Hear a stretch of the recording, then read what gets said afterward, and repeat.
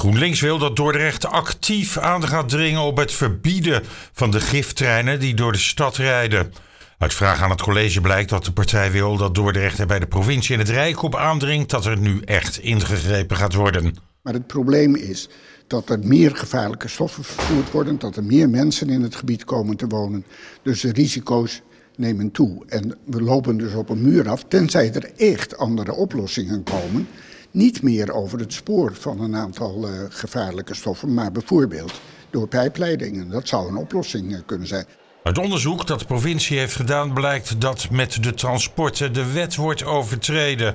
En zo zeggen onderzoekers de overheid in een aantal gevallen verplicht is om in te grijpen. Maar dat is niet eenvoudig, zegt verantwoordelijk wethouder van der Linden over de al jaren slepende kwestie.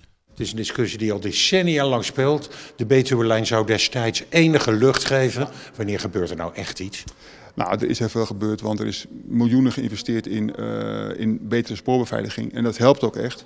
Maar wat je dan ziet, we willen dat de winst die dat oplevert ten aanzien van risico's, dat die ten goede komt aan wat wij kunnen realiseren in de stad. Want daar gaat het ons om.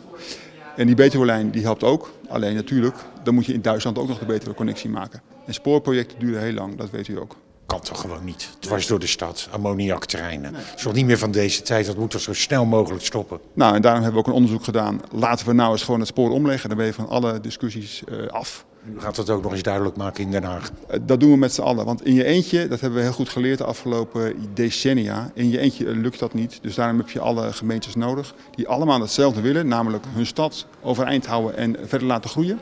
Toch lijkt er iets te moeten gebeuren, want de treinen rijden echt dwars door de stad. Waaronder de spoorzone, waar de gemeente grote plannen heeft op het gebied van woningbouw. Nou ja, je zou daar een risicoanalyse op kunnen uh, loslaten. Ik weet niet wat eruit komt. Wat vermoedt u? Nou ja, ik denk dat daar. Uh, kijk, het gaat natuurlijk om kleine kansen. Dat is het probleem. Hè? Dus het kan jaren goed gaan. Het kan ook heel snel misgaan. Maar een keifroeg, hè? Ja. Precies. Uh, je, weet, je, weet, niet wanneer het misgaat. Dus het is heel moeilijk om daar een sommetje over uh, te maken.